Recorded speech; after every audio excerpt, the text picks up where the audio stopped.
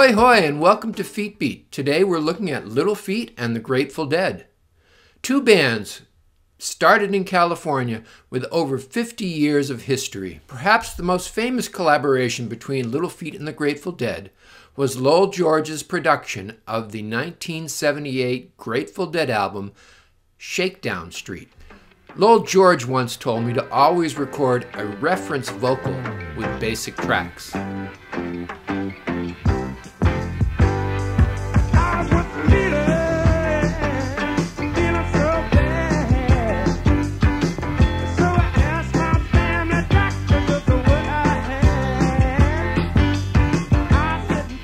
A Little Feat song that perhaps came out of the Shakedown Street collaboration was a song called Six Feet of Snow.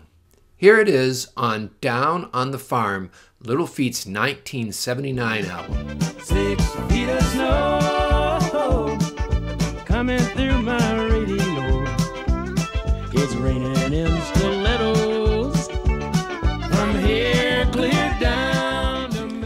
Feat's association with the Grateful Dead may have begun as early as 1970. You see, before Kenny Gradney became Little Feat's bass player, he played with Delaney and Bonnie.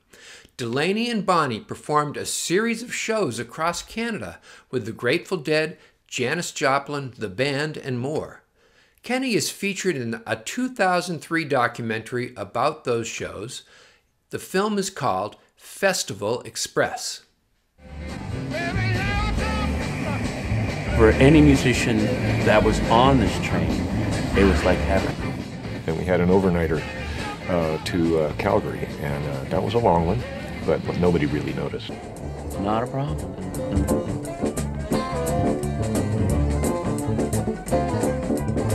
I knew that this was going to be our home for next week. You know, I said, "Wow, what an adventure!" I thought this is really in the spirit of uh, of of the music and of the times. You know, and trying new things.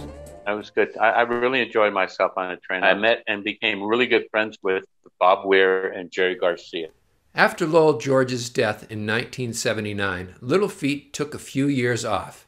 During that time, Kenny Gradney played with Bob Weir in Bobby and the Midnites.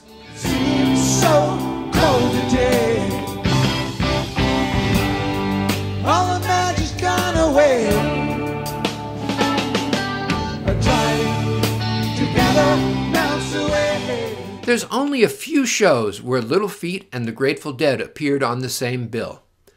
Perhaps the most famous are the shows they did in 1988 at Oxford Speedway in Oxford, Maine, two shows in 1990 at the University of Oregon, and in 1991 at Giant Stadium.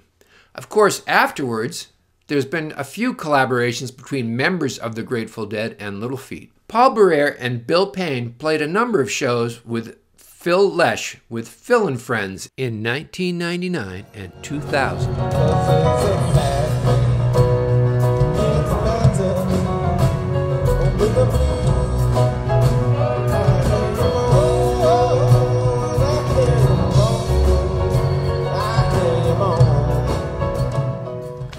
Feat's newest member, Tony Leone, has also performed with Phil and Friends.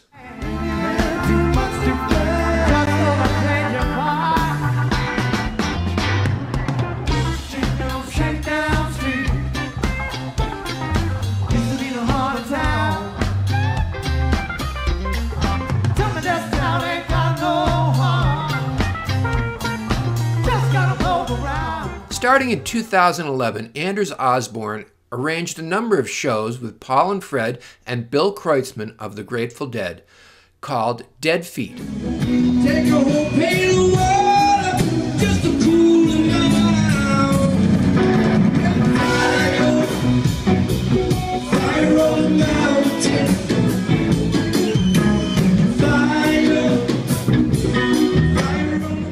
First time Tony Leone may have crossed paths with members of Little Feat was at a Dead Feat show in 2015 where he played alongside Grateful Dead drummer Bill Kreutzmann.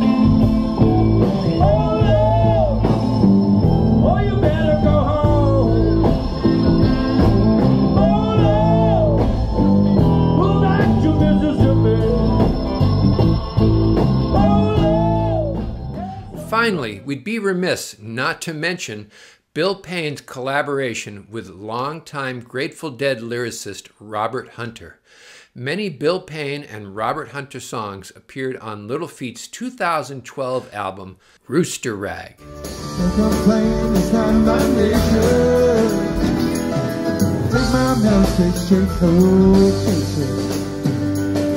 Rooster rag, rooster rag, up